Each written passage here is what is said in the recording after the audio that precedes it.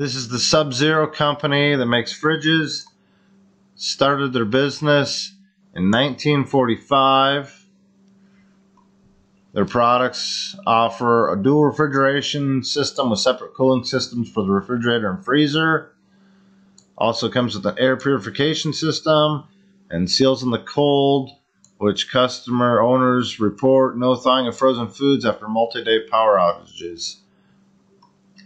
American manufactured, built in their own Wisconsin and Arizona facilities, and their appliances are designed to last a minimum of 20 years. Very impressive. Look at some of the products here.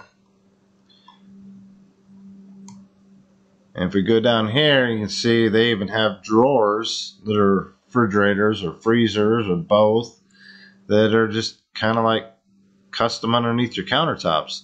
That's wild. Click on the full size here.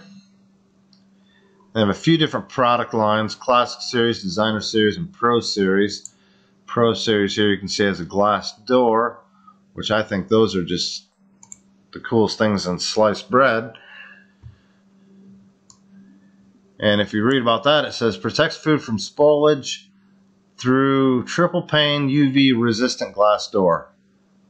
So apparently they um, did their homework when they made those and made them right. I would, that's what I say anyway. We have their wine section here. You can check out their different wine coolers. Just neat products to say the least. And then last but not least, the under the counter.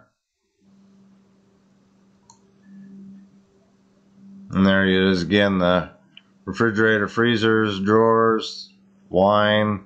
I mean, they have options. Options. That's what it says. Another USA made product.